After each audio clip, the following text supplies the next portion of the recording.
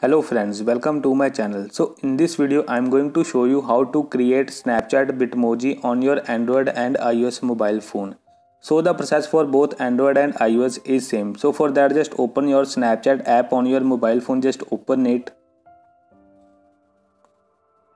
And here you can see on the top of the left corner you can see your empty profile picture. Just click on your empty profile picture here so here you can see this is my profile here and you can see I don't have any profile picture and you can see create bitmoji. I don't have any bitmoji right now. So just click on create my bitmoji. Just click here.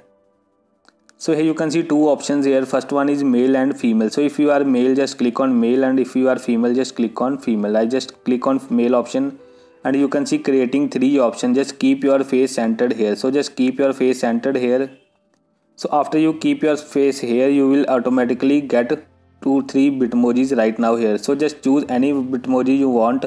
I just click on this option and just click on continue option. Just wait a few seconds. So here you can see your skin tone here. So just choose your skin tone here. After you choose your skin tone you can see downside lot of options here. You can just change your hair mustaches eyes beards anything you want here. So after that just click on save option. You can see on the top of the right corner save option here. Just click on save. And you can see ready to pick a outfit. Just click on yes option. And you can just choose your outfit here. After you choose your outfit you can see downside lots of options here. You can see change your outfit as your preferences so after all you done this just click on save option. You can see on the top of the right corner just click on save option. And you can see this is my bitmoji here. Just refresh it.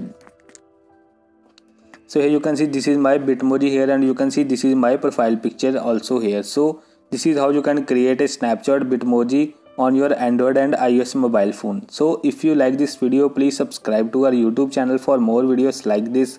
See you again in next video